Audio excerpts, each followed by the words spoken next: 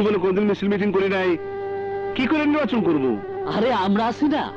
তাছাড়া নির্বাচন করতে মিছিল মিটিং লাগে না। লাগে জনগণের ভালোবাসা। আর সেই ভালোবাসা তুমি পাইছো। তাই যদি হয় তাইলে ওরা আদালতে